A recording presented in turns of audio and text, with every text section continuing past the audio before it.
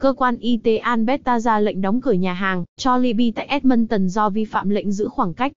Sở Y tế tỉnh bang Alberta đã ra lệnh đóng cửa nhà hàng cho Libby tại Edmonton, do không thực hiện đúng lệnh giữ khoảng cách cả bên trong, lẫn bên ngoài nhà hàng. Theo Global News đưa tin vào hôm thứ Tư vừa qua, Sở Y tế đã dán thông báo tại nhà hàng rằng nhà hàng này đã bị đóng cửa. Theo một thông cáo báo chí của Sở Y tế tỉnh bang Alberta nói, rằng họ không còn cách nào khác là phải buộc nhà hàng này đóng cửa.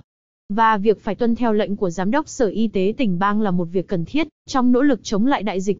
Thông cáo có nói, trong khoảng thời gian này, Sở Y tế sẽ làm việc với nhà hàng để tuyên truyền về việc làm thế nào để vận hành nhà hàng một cách an toàn cho nhân viên và khách hàng của họ. Theo thông báo được dán trên cửa nhà hàng thì nhà hàng này sẽ phải đóng cửa, cho đến khi Sở Y tế tỉnh bang dỡ bỏ lệnh đóng cửa này.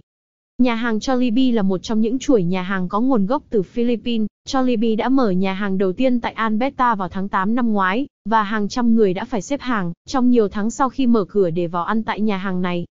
Đến ngày 27 tháng 3 vừa qua, khi tỉnh bang ban bố tình trạng khẩn cấp và ra lệnh đóng cửa tất cả các cửa hàng dịch vụ không thiết yếu, nhà hàng này đã thông báo vẫn mở cửa nhưng chỉ cho mang đi.